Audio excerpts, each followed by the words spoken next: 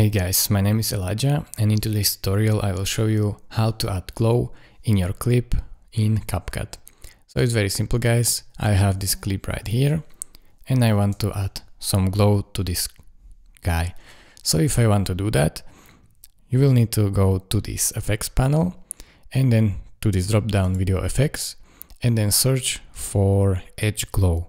In my instance it is in this trending tab and uh, here edge glow and if you don't see it here you just search for it. Somewhere here it will definitely be.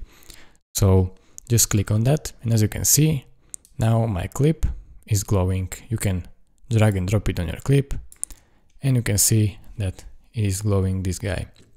Now if I want to make text glow this is something different but I will show you how to do it. Go over to this text tab add text.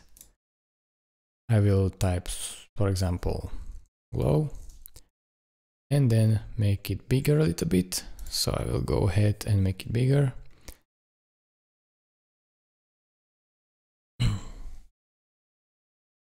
Increase the scale.